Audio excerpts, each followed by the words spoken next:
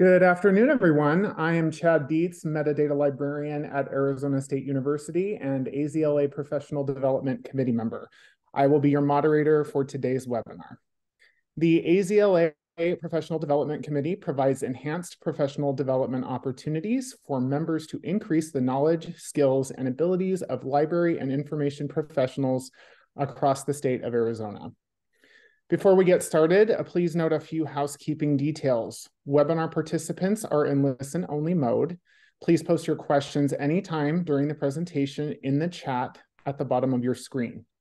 To ask questions anonymously, you can submit them directly to the hosts and panelists using that option instead of submitting to everyone. You can turn on live transcript and show and choose show subtitles in your Zoom window for closed captioning. The session is being recorded and the recording will be made available on the Arizona Library Association YouTube channel. A link will be provided in your follow-up email. Uh, Cheryl Gherkin will be your technical director today. You can contact her via the chat if you're having technical issues during the webinar.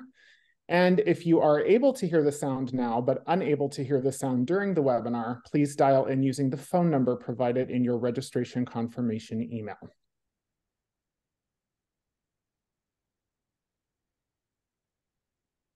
At the end of the webinar, we ask that you complete a simple evaluation survey. The estimated time to complete the survey is two to three minutes. Please take the time to complete it as we use the data to improve our offerings to you and your feedback is important to us.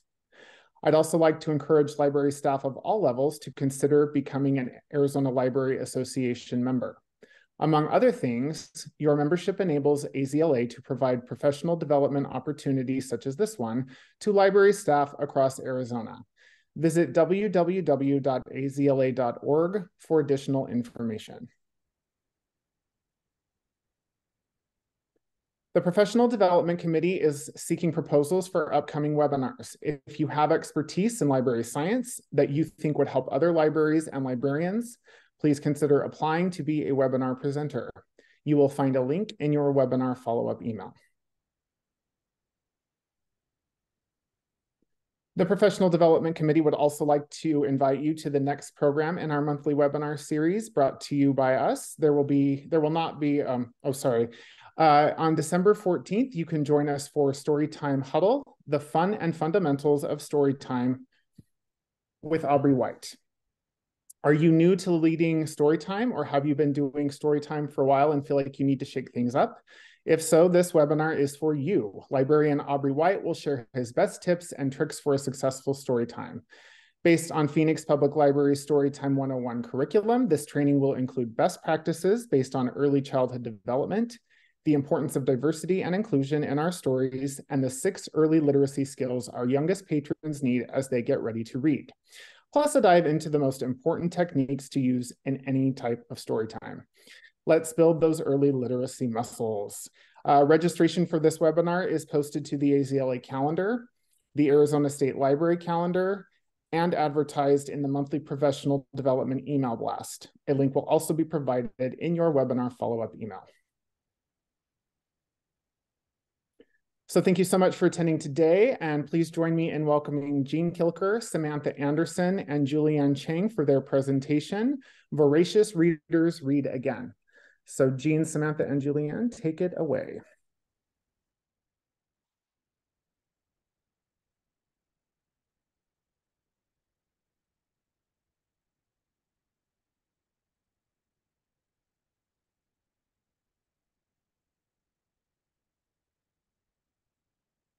Well, hello, everyone. I'm delighted to talk with you today. And thank you to the team supporting me here as I talk about different ways to have teen book groups. But I've also changed it to make sure I'm including all grade levels. So hopefully um, you'll be with me and Julianne and the team from Arizona Humanities. Um, as we go through this program with you. I'm so sorry to interrupt. I think right now you're sharing um, your presenter mode instead of the, the screen. Okay, let's change that. Thank you. It did it again. We practiced it before. And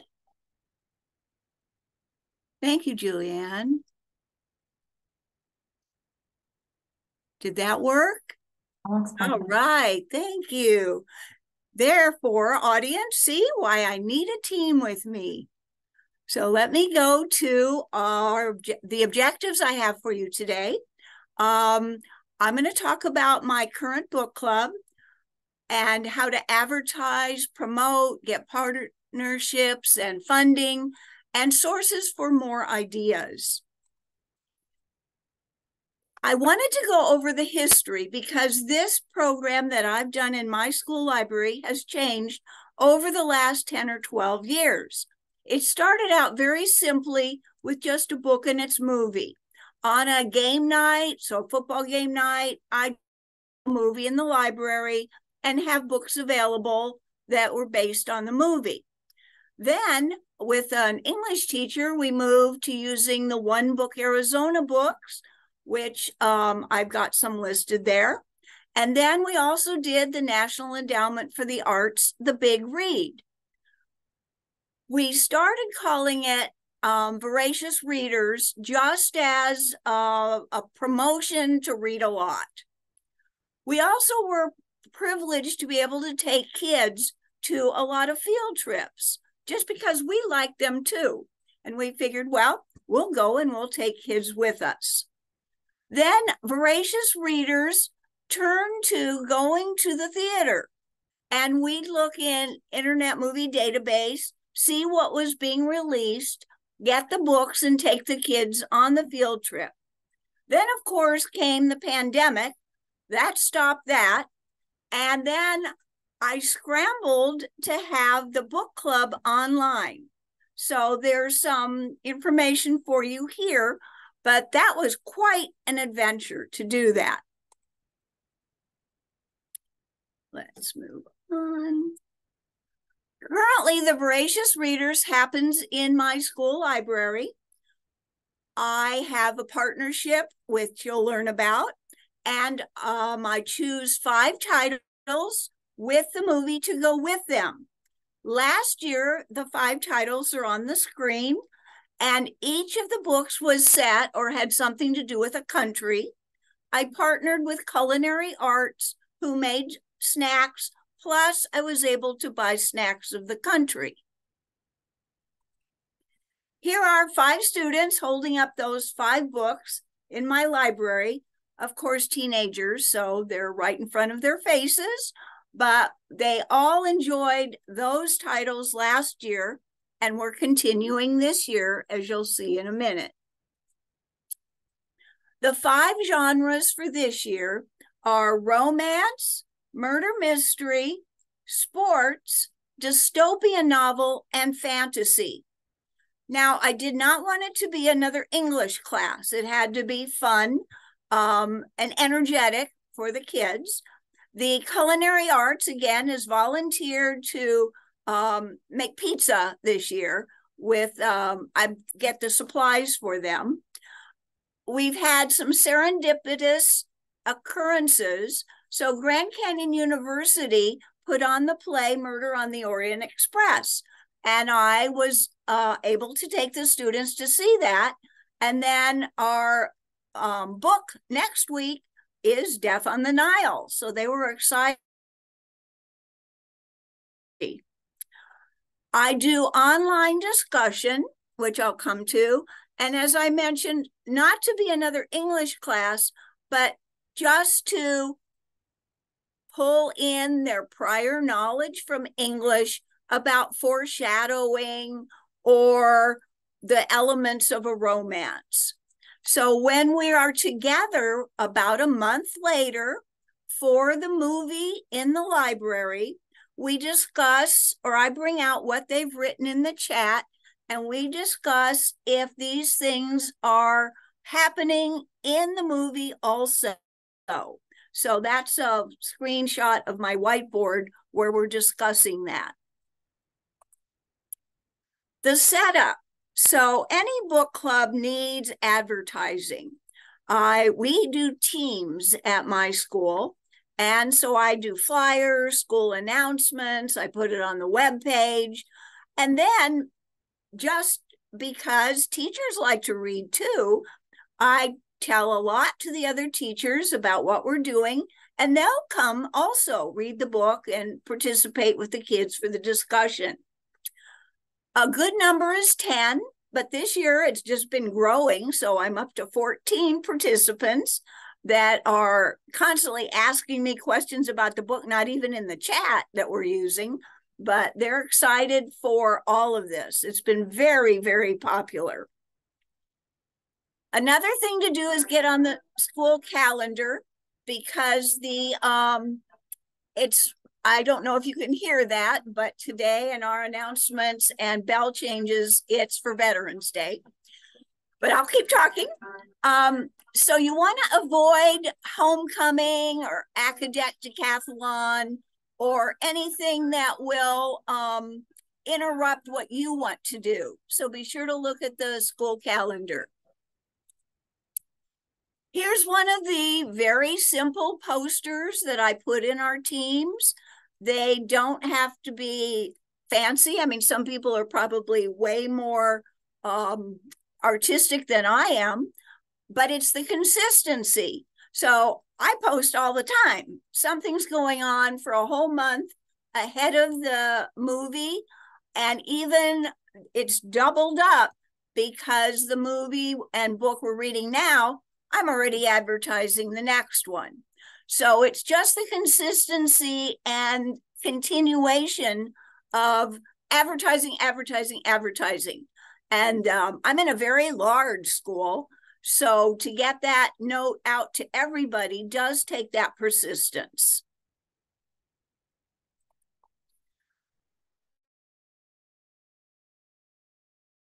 Already that teachers will help you. They like that. Um, the counselors or social workers can be invited to come talk to students during the discussion if they've participated and then it's a instance in the book that they would have some expertise in we've done it where we've partnered parents and their students to read a book we did that with one book arizona with the two books about the grand canyon one student and another each read those two books, or a teacher and a student, or a parent and a student. So that's a possibility too to bring in your community. I also like to always include as many clubs and classes as I can. So art department to do bookmarks. Um, again, as I'm uh, collaborating with culinary arts, performance, if they want to do a reader's theater for a section of the book, there's a lot of opportunities to collaborate with others in your school. Discussion questions online range from serious questions, again, trying to solicit background information of what the kids have learned in English class, um, and some are just funny questions or silly questions.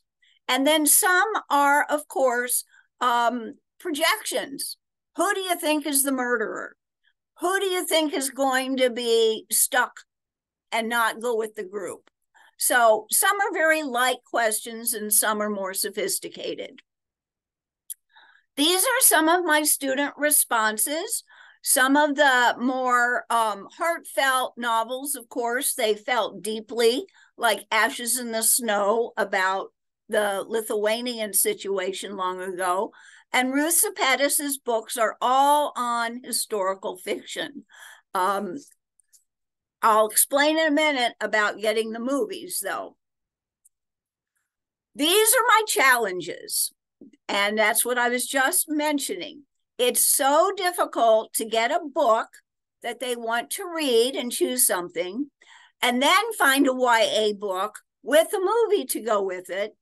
And then now, of course, as always, the books and the movies have to be approved for use.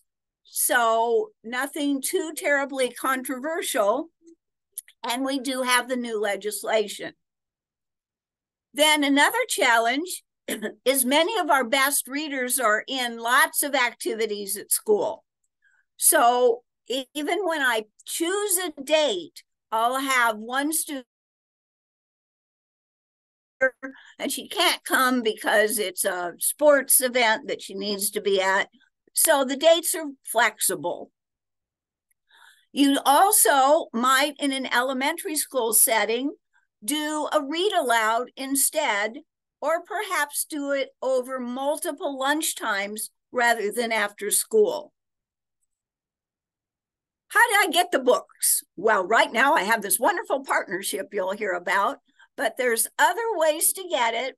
Um, like donors choose if you have a book fair and they give you money to get what you want. Um, classroom libraries. Now I started out that we just use library books. The students get didn't get to keep them. We just solicited books out of classrooms and other schools in our district until I had enough enough for them to use. A mention at the bottom of this screen is these do not have to be current because this year's students will not have read a YA book that came out maybe five years ago and does have a movie to it. How do I get the movies? Well, be sure you follow district policy G for elementary or only PG in grade 12. Um, read everything and watch everything first. And then you can also do grants and partnerships. Now, what I have, which is wonderful, wonderful, wonderful, is this partnership with Arizona Humanities. They purchased the books for me. I chose the books. They've sent me the 10 copies each of the five titles. They have sent me, or I buy them and get reimbursed for the movie adaptation of each title, and then funding our uh, reimbursement for any of the foods that we've done. And I just put some of those, if you like that cultural one, some of the markets I used on this slide. Now I'm going to turn it over to Julianne and Samantha because they will want to also brag about their wonderful program. So let me not share. Stop share. All right.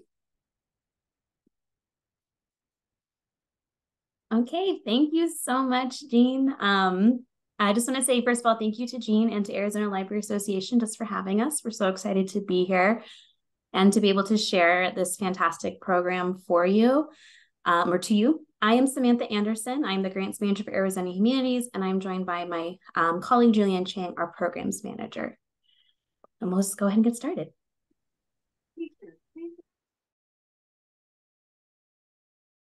Um, introduction into who we are. Um, so a lot of people don't know who we are. We do kind of fly under the radar a little bit. Um, and then Julianne will kind of take over with a little bit more about our AZ Reads program, and then we'll kind of finish with just some timelines, how what, what's coming up. So, first of all, we are Arizona Humanities. We are a 501c3 nonprofit organization, but we are also the state affiliate for the National Endowment for the Humanities. So, we're actually one of 56 um, state humanities councils. There's one in every state and territory in the US. So just know if you're joining us from outside of Arizona, you do have a council um, in your if you're joining us from the United States in your um, in your state or territory. They won't have an AZ Reads program necessarily, but they do have fantastic resources that are tailored to their area. So just know that. Um, we support public programs um, that promote understanding of the human experience with cultural, educational, and nonprofit organizations across Arizona. Our, root, our work is rooted in partnerships with organizations statewide. Next slide. So our mission is to build a just and civil society by creating opportunities to explore our shared human experiences through discussion, learning, and reflection. So we are rooted in the humanities. That definition is traditional definitions are like liberal arts. So English is definitely one of them um, art history, archaeology, history, jurisprudence, ethics, philosophy, all of that. But we really like to expand that definition. We see the humanities as the way we explore the human experience. The stories and ideas help us reflect upon who we are as individuals and as members of a global society. Many of our programs focus on civic education, environmental humanities, humanities contemporary issues, and so on. So you really combine the humanities with a lot of different things. It's a way to create that context around an idea. All, all programs that we support have interactive components that allow the public to engage that discussion, learning, and reflection, whether it's through Q&A between a speaker and audience or facilitate community conversation. All the programs that we support support should stimulate community exchange. And I really appreciate in this program in particular, you know, it's not just about reading the book, it's about experiencing that story through other media and other methods of storytelling. Um, it's about partnering, like she said, with um, you know, with the culinary um, groups as well as performances and arts and music. And that's also most importantly, kids engaging with each other around these stories. So next. All right, so it's just a little snapshot about some of the things we do, and then we're gonna get into a very, very special program that we have. So we primarily function through our grants and through our programs. So we do have traditional grant programs, including our project are eligible to apply to. Those will be very kind of your more typical grant experience of an application, a panel process, things like that. We're going to go into a program that's really, really, especially because it's more of a hybrid between our grants and our programs in a way that you can actually um, receive funding and support in a way that is maybe just not as complicated as our grants can be. So go ahead and move it over to Julianne. Thank you, Samantha. So if any of you are joining us from community libraries, you might be familiar with some of our public programs like AZ Speaks and Frank Talks. Um, but we do have a new program that started, I guess it's not as new, it's maybe a couple years old now. It's AZ Reads. This is our K through 12 partnership program. And as Samantha and Jim have kind of mentioned, this is not a traditional grant. It's a program partnership. And that allows a lot of flexibility in the application process, but also how we implement the program with you. So um, it allows us to streamline the application for you. Jane can probably talk a little bit more about that simplification of the application, her experience with it. And it also allows us to meet with everyone who submits an application. And that really gives us an op opportunity for Samantha and I to meet with everyone face to face, so to speak, in Zoom and learn a little bit more about your program and your community and your students. And that's all factored into the decision making process. Um, we also, through our discussions with teachers and school librarians, um, found that the best way to get funding to you, especially if you're at a school, is sometimes to directly purchase the resources that you need. So that means we are purchasing the books on your behalf. Um, we can contract with visiting authors. Um, you know, we can help pay admission fees for field trips, but we can do that directly through Arizona Humanities. And so when Jane was mentioning we bought the books, we, we actually did order the books through the Phoenix Book Company. So we can, you know, supply your books through a local book vendor, which we love to do. Um, but this just allows for a little more flexibility in how the funding is dispersed. It makes a little things a lot faster and easier for both sides. Um, yeah, so that's kind of like the nuts and bolts of why it's a program partnership. That flexibility is built in. Um, and it also gives us an opportunity, depending on, you know, how you want to form your program, but it helps us um, pinpoint resources or speakers for you as well, if that's something that you need extra support with. Um, what we do always say though, is that the program is something that the applicant is designing. So you all are the experts of your libraries and you know how to work with your students. So often the idea, the program proposal is being formed by you all. You submit the application, and if there's any additional support needed, any connections you need us to help you make, we can do that. Um, we are here to support, and that is because it's that program partnership again. And that second bullet point, you'll see that we fund up to $2,500 um, with an um, larger, like a school-wide book club or something like that, we can have a discussion about increasing that budget. Um, so there is some flexibility there. And we do ask if you are applying and asking for more funds to let us know so we can have that conversation. The 2500 is kind of the ballpark, ballpark area of what we, we do fund for programs.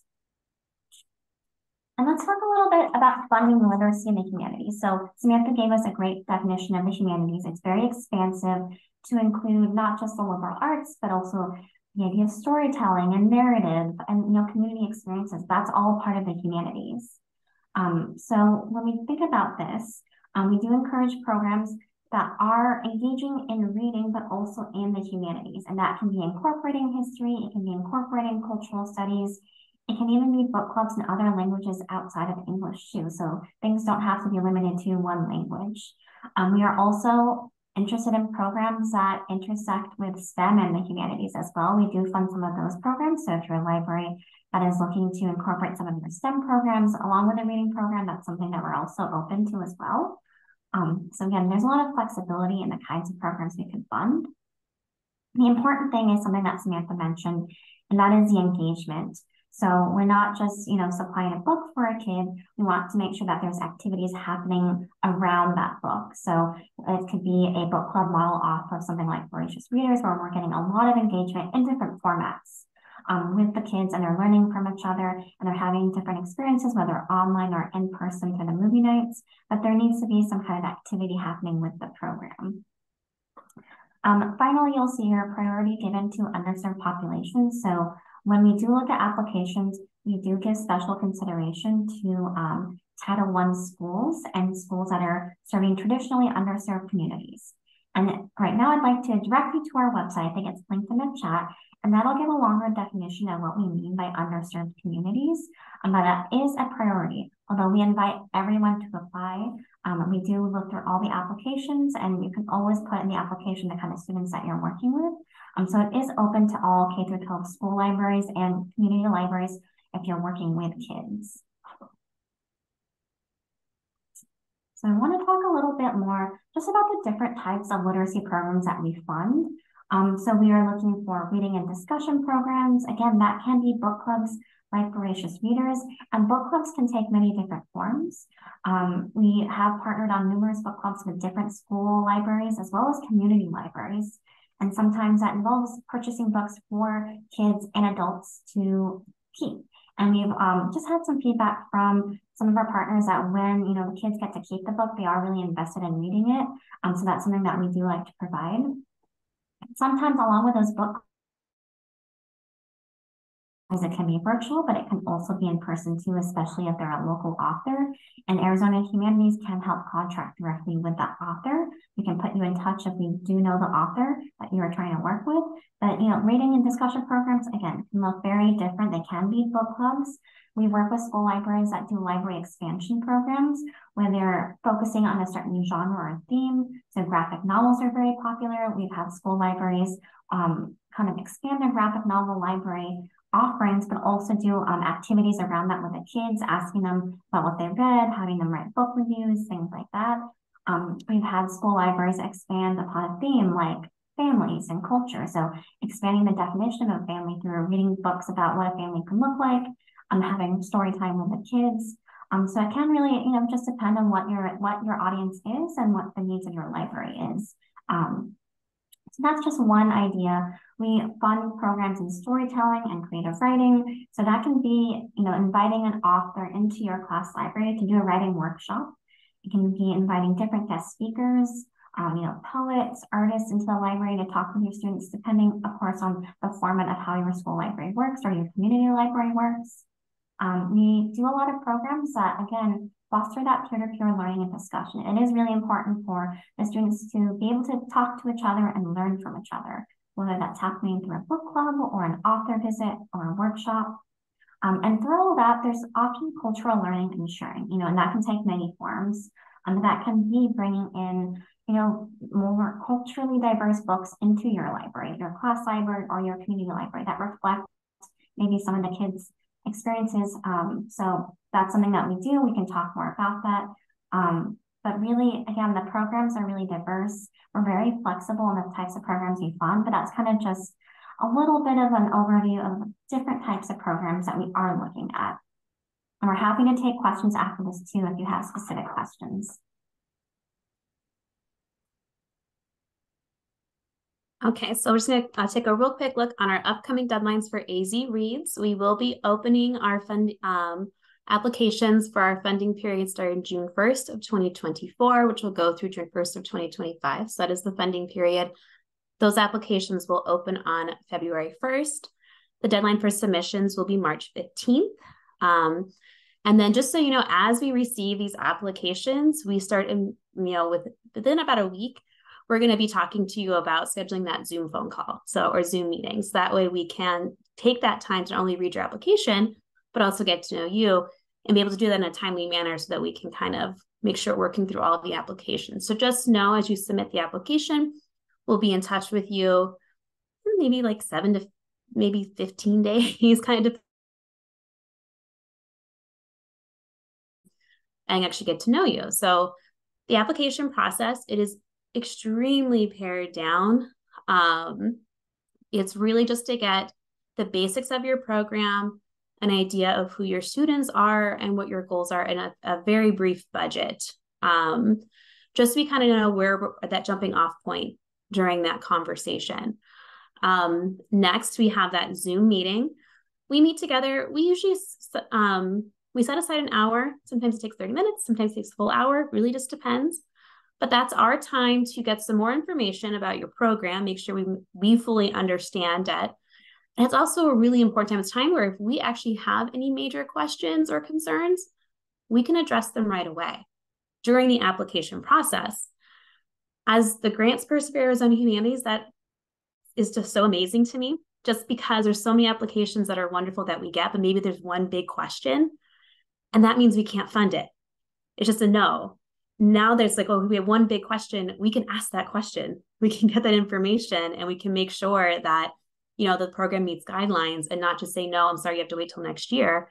We can take care of that during that application process. So just so you know, that is the um, general um, timeline. We will have an information session as we get closer to those dates. We'll have that um, scheduled out as well. And so please just, uh, if you'd like to join our listserv on our website, you can if you go to azhumanities.org. And again, um, our azhumanities.org AZ Reads program as well have more information. We did have a question. Can we go ahead and answer that now or? Sure, if you'd like to. Okay. um, I just had, I just saw one about um, a partnership, um, but participants are not in the K through 12 educational system.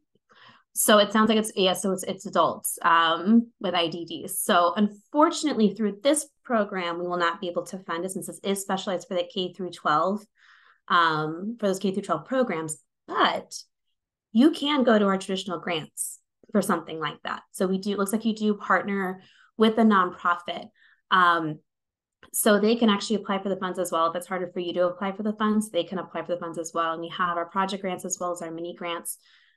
Depending if it meets guideline, I mean, this may be a good um, application for a mini grant, which is also kind of more of a simplified application process than our project grants as well. So um, if you'd like to get in touch with me, please let me know. I can get you that information. Um, sorry, when you said get in touch with Samantha, um, use your contact information up here, and we really encourage you to give us a call or email us if you have not even just we're happy to kind of talk to you about it. If you want to bounce ideas off of us, we are more than open to that. We can schedule a meeting before the application opens. So definitely encourage you to reach out to us. And then we had one more question of can a district lead library media specialist apply? Or um, does it have to be individual campus? Um, we've had both. So we've had individual campuses apply and we've had someone more at the district level apply. It's fine either way, both work.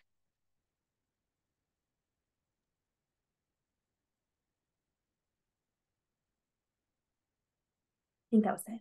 If I missed any, sorry, we'll get back. To, we'll find them. Is it my turn again yet? All right. Can you hear me? Yes. Yes, we can. All right. So let me share my screen again.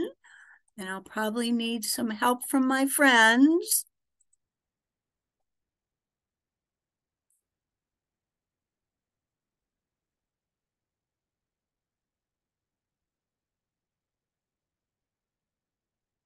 All right.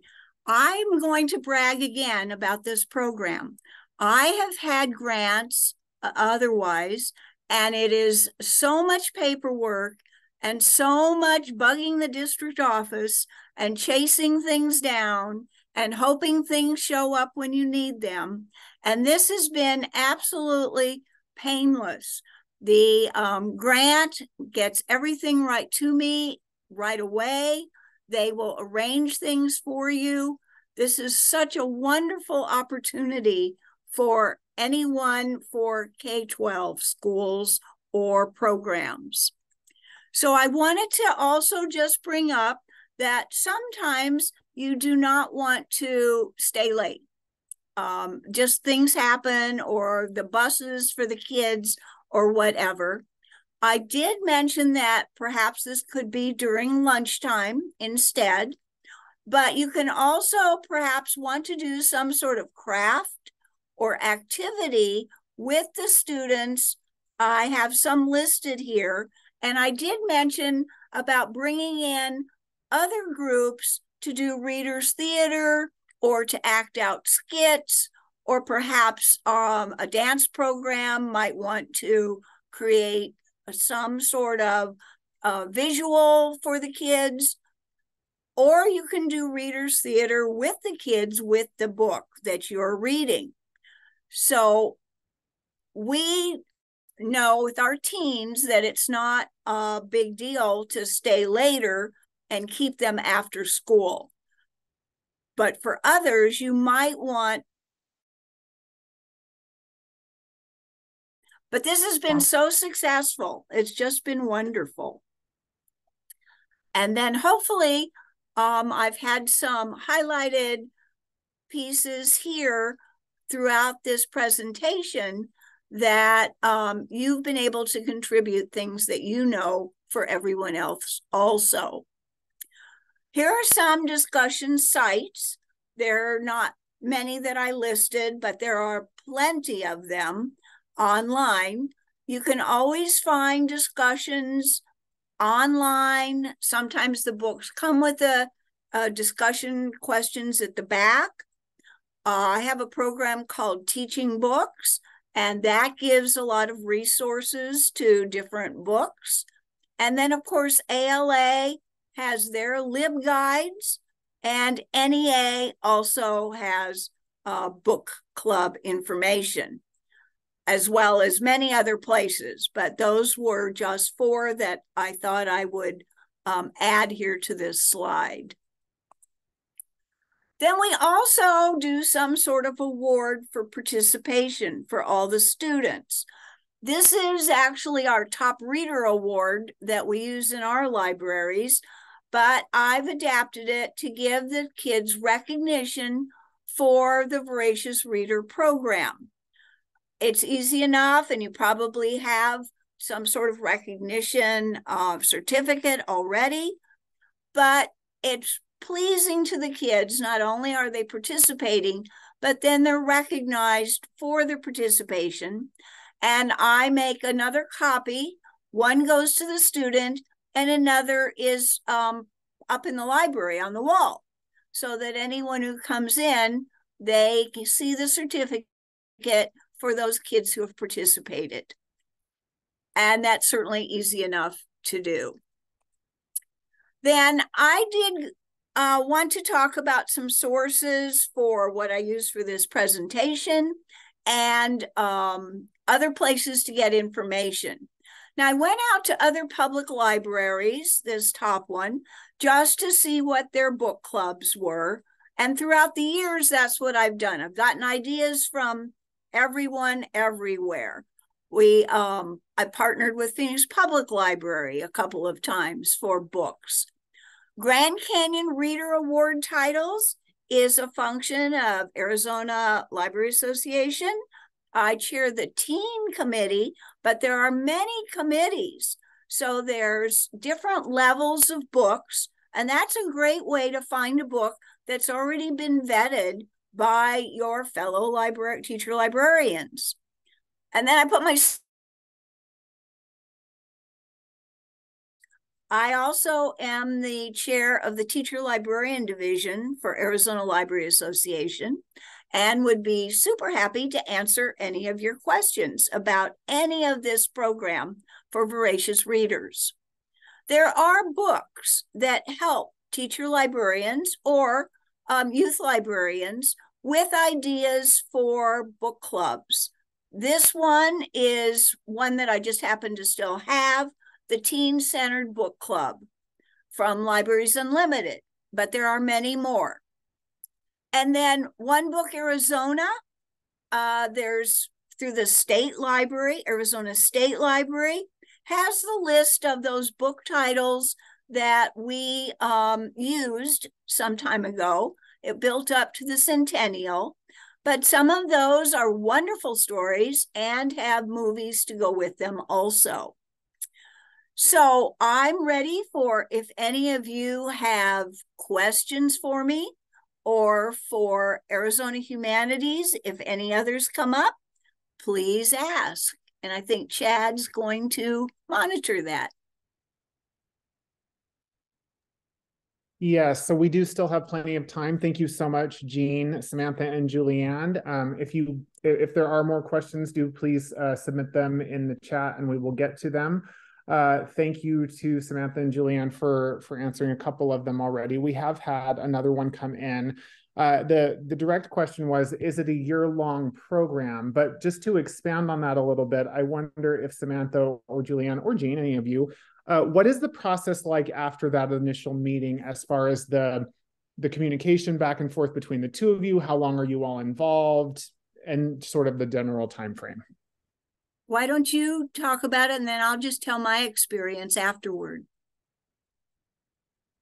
Okay, Sam, I'll go first and you jump in if I'm forgetting anything. So um, after we meet, um, you know, the deadline passes and then um, Samantha and I and the rest of the Arizona Humanities staff review the applications and consider the discussions we have in our interview. We do try to have a decision made pretty quickly, at least within a month of the deadline notification. Um, and that is also because um, we do have a um, contract process. We will need a memorandum of understanding or an MOU that will be signed between Arizona Humanities and your school or your, your library branch. Um, just confirming the details of the program to make sure the administration is informed of what's happening in the in the classroom library or in that particular library. So that MOU process, um, you know, it depends on your administration. It can be very quick, like um, you know, sometimes it's just a couple of days if, if the principal signing off on it. um, require you're required to send it up to your school board that it can be a process and a little bit of back and forth on terms but we are more than happy to work with your administration in you know adapting the MOU to fit the terms that your school board might require as long as everyone's like on the same page about the program happening. Um, but you know we'll still make the program happen. So just know that we work with you on the MOU process. It's nothing scary. Um, the reason that we have this in the spring is so that all the ducks are in a row for when the actual program starts happening, either in June or in the fall when that school year starts. Um, to answer the year-long question, it kind of depends on the program. So some programs are a year-long. So the Voracious Reader programs is happening throughout the year. Um, some programs that we do fund are a one-time thing. So there's an author visit coming to a library, and that happens once. Or it can be a semester where the kids are reading one book that semester and then they have a workshop at the end. So the length of a program just depends on what you plan for. and oh. Go ahead. I was just going to say the one thing I would add is at the very end of the program, um, your program specifically, we would then have more of like a final report process, like you would for a typical grant, but we are very flexible on this as well. Um, you could write up a, a, formal report for us if you would like, if that's how you prefer or we could do more of like um more like the zoom meeting in the beginning where we can do an actual meeting and go over the questions have to be more of a discussion between ourselves um, just how the program went. We will collect a few pieces of, of information how many students um, participated you know things like that.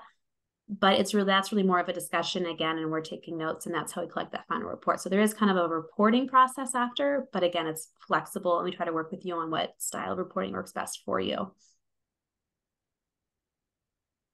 So I saw this in an email, and I'm always interested in looking for some help for doing programs that I'd love to do with our, our students because of our student population. And this was painless. It was amazing. Of course, I was nervous when they said, Well, we're going to call you to interview you. And I'm like, Oh my goodness, okay. But I wrote up, there's the form, um, the application, and they called. And of course, there, as you can see, they're just wonderful to work with. And then I was, uh, I actually um, didn't ask for very much money.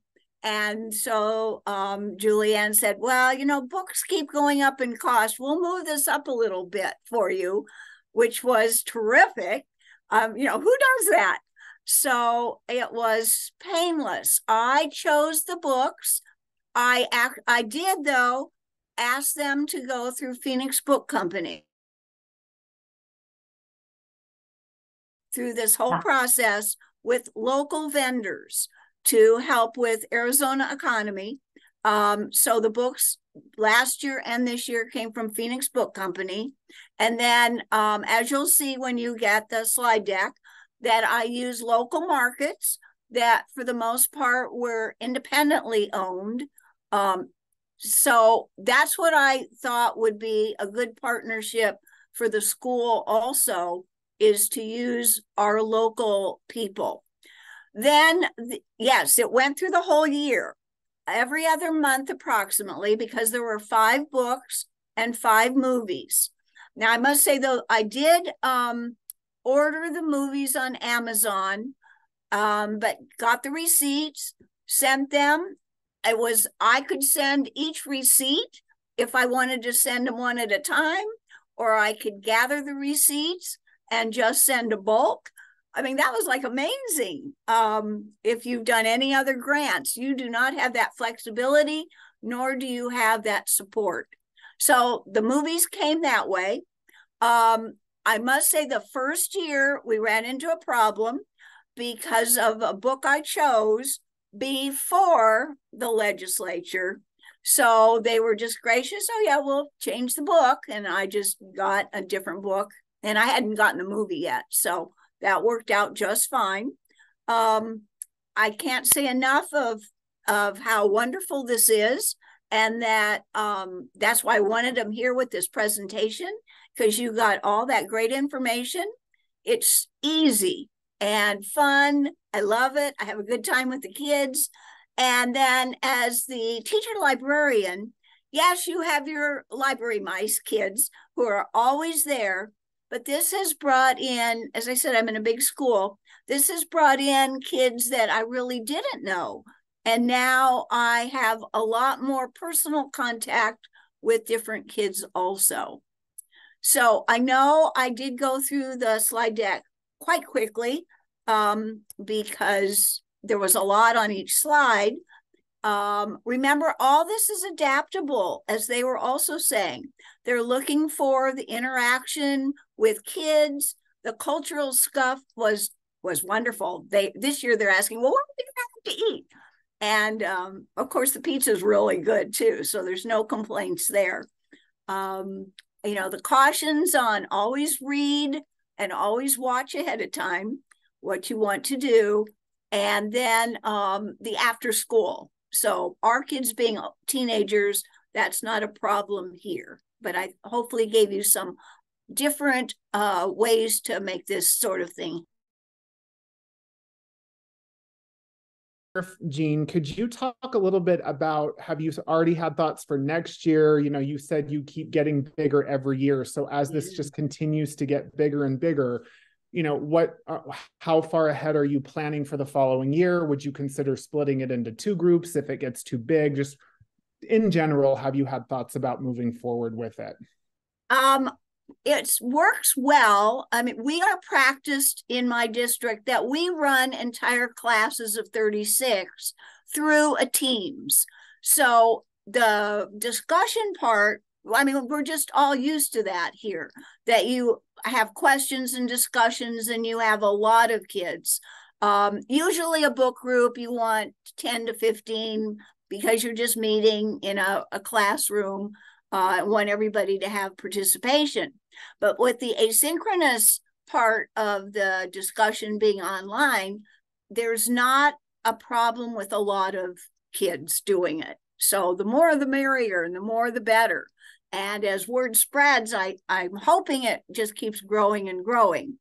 For next year, again, as I said, the biggest problem is getting those teen books with the movie that are acceptable. So I haven't started investigating yet. The kids this year, the few that didn't graduate or, or came back, they love the cultural piece. So I was thinking of doing something different, but also in, I mean, same book, um, the movie, but choosing some other cultural aspect. We've done um, lots of things. We've been involved in like How projects with other countries. We've done um, games that go with other countries um, that they play there and having those. So I haven't put it together yet. I'm just thinking of all sorts of ideas that would bring they that cultural aspect back to it. They like this. They like the books. They loved um, uh, if I stay. That's a, a weeper. So um, they they enjoyed that one. Um, they love the pizza because our culinary arts group is terrific. But um, yeah, move on, give them something different. I think it would be a four year cycle, um, actually, because then my teens would have graduated and then the new group wouldn't have done the same thing, perhaps. Um, but we'll see. I don't know. I haven't gotten that far yet. No, that's great. Thank you. Uh, we did have a question come through for you, uh, Jean. Uh, if uh, how did you market it to students who were reluctant to participate specifically? Um, the students teachers. So oh. all the English teachers and all the reading teachers, we are a large school, they all know this. And then they have suggested students too. And so I have that partnership oh. with the teachers to also identify students that they know like to read, but might be the more quiet student who doesn't want to come to some strange committee or meeting where kids they don't know. But um, so it's an individual contact.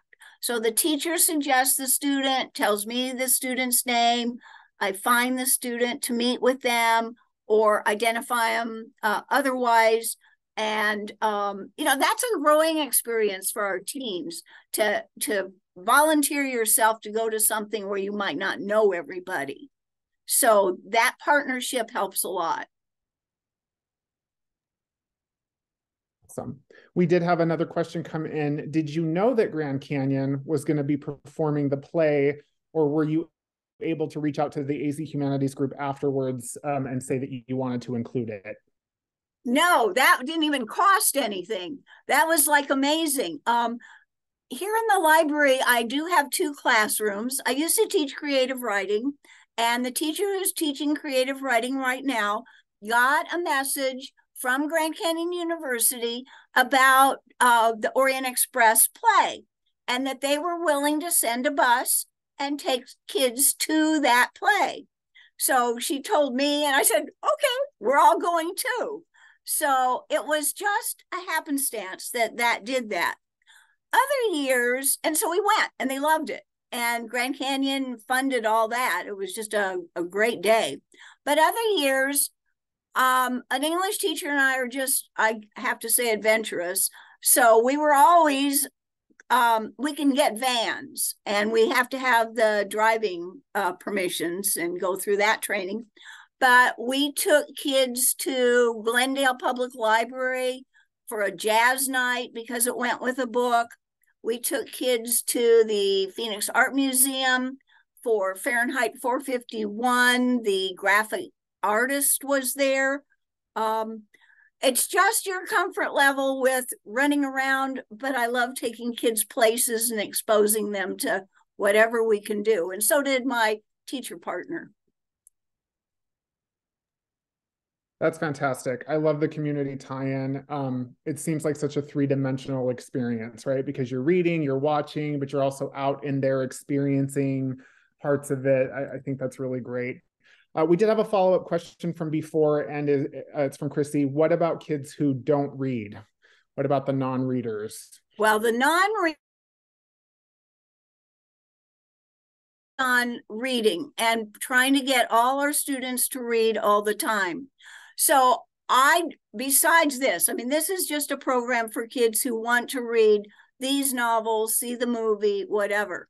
But I have classes all day. I bring um, classes into the library.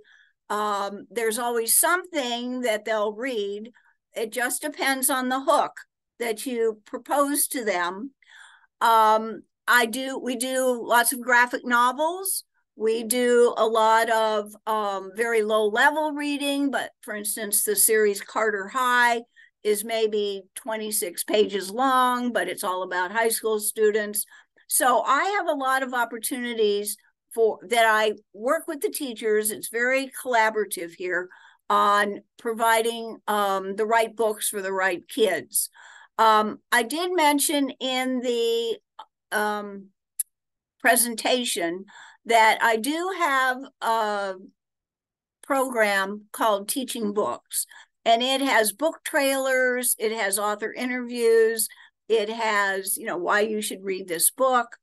Um, I don't know, I could go through a hundred things, um, providing lists for students on genres, um, and talking to kids individually. What did you read last?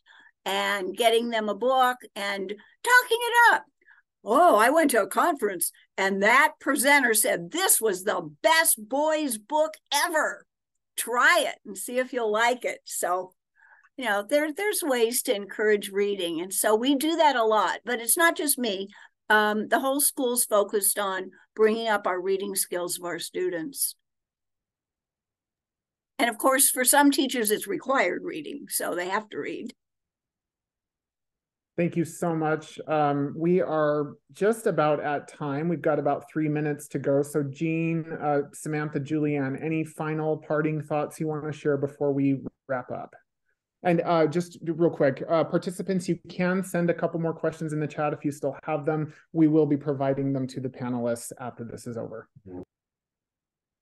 And if anyone needs help, please ask. Um, I, I have my email there and um, that's what I tell the kids. They're doing their research projects and I say, wait a minute, half the kids are emailing me about where's the answer for this? Why not you too? So please ask if you have questions.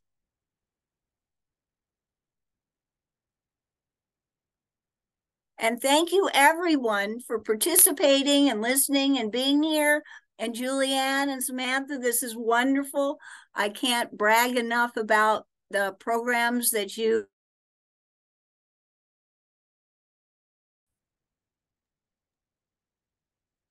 Oh, I just wanted to thank Jean for being a wonderful partner. You're pretty much a model partner, staying in communication with us all the time. Um, love your program, and we want to thank you for inviting us to talk today. And uh, also thank the Arizona Library Association for having us. Yeah, thank you all. Um, it seems like a very syner synergistic partnership that has been very successful. So we're we're thrilled to to have it here.